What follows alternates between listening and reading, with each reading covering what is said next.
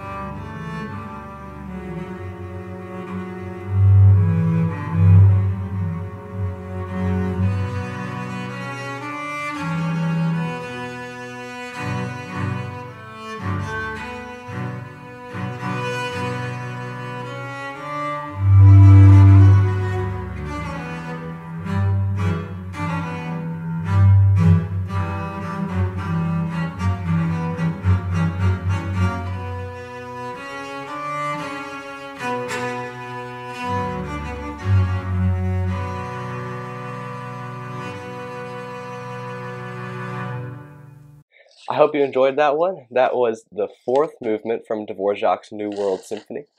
We come to the time in the performance where I'm going to be shifting to more Mother's Day music or pieces or songs enjoyed by my mother and grandmothers. This next piece uh, or song I'm going to be playing for you is Oh the Deep Deep Love of Jesus. This is one of my mom's favorites, and I think it's rather ironic because my mom loves it, and I'm playing it for this Mother's Day concert because mothers show Jesus' love to their children.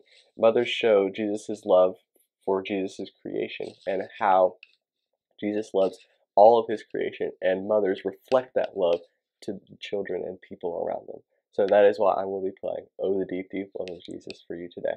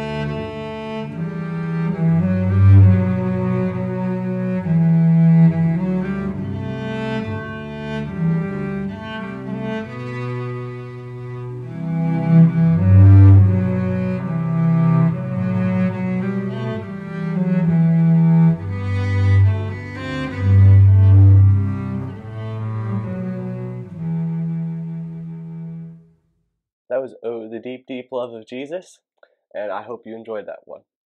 Now, I know I did just say that we're coming to the time in the performance where we're going to be shifting to Mother's Day theme music or songs enjoyed by my mother and grandmothers. And we are, but I'm going to make a slight detour in the performance and shift our focus back towards Easter.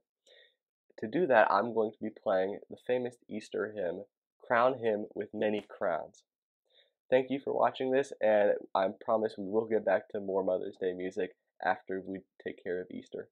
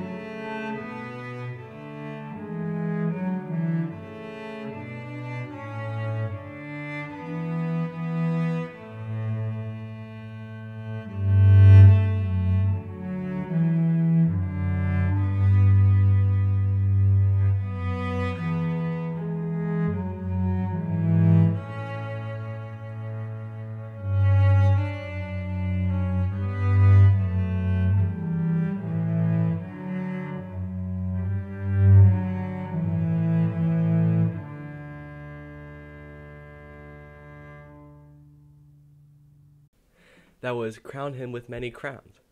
We are going to move on with our Mother's Day music and go to Great is Thy Faithfulness. That is one of my grandmother's favorite songs. I hope you enjoy it, and one more time, it is Great is Thy Faithfulness.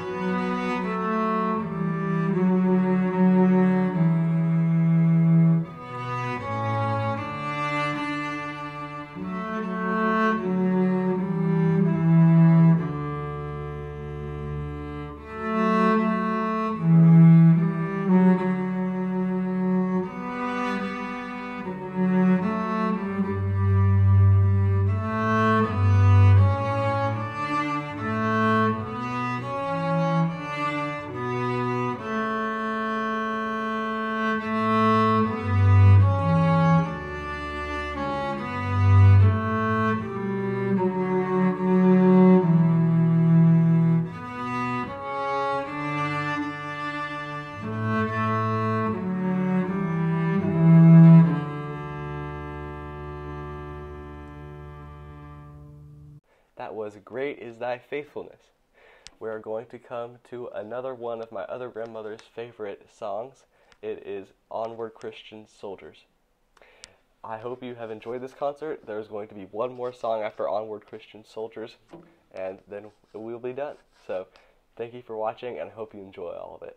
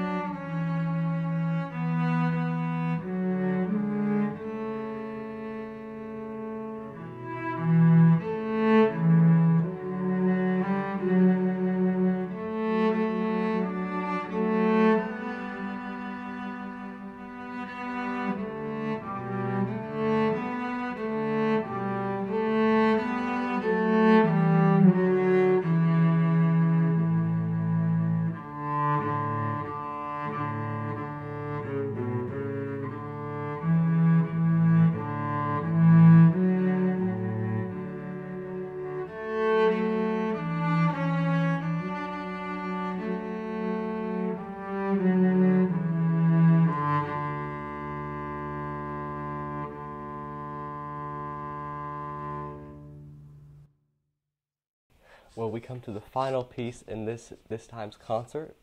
The final song I'm going to play might seem unusual, but it is Danny Boy or Londonderry Air.